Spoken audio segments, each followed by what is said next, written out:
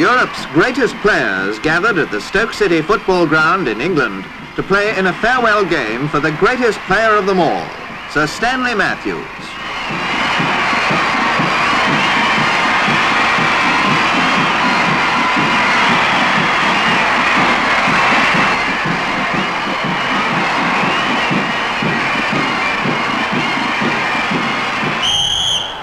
The Matthews team in striped shirts kick off.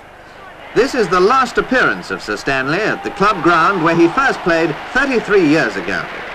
He's still able to delight the crowd with a show of the old magic.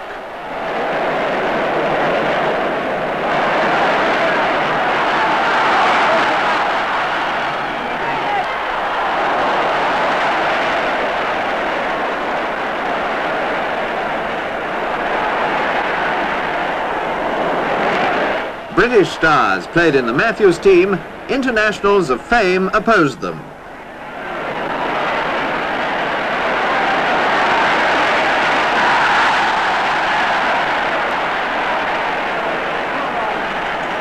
In goal for the internationals was Lev Yashin, the Russian goalkeeper.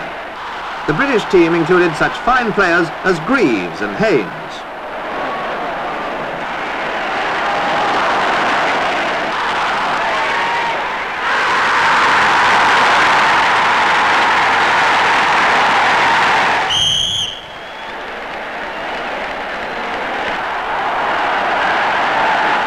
35,000 people gathered to watch this festival of football by internationally known players.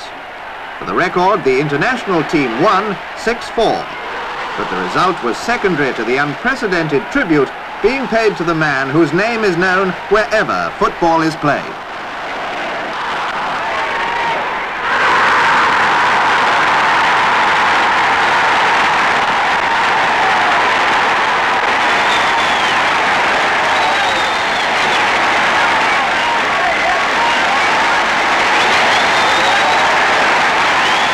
Sir uh, Stanley Matthews was carried shoulder high off the field.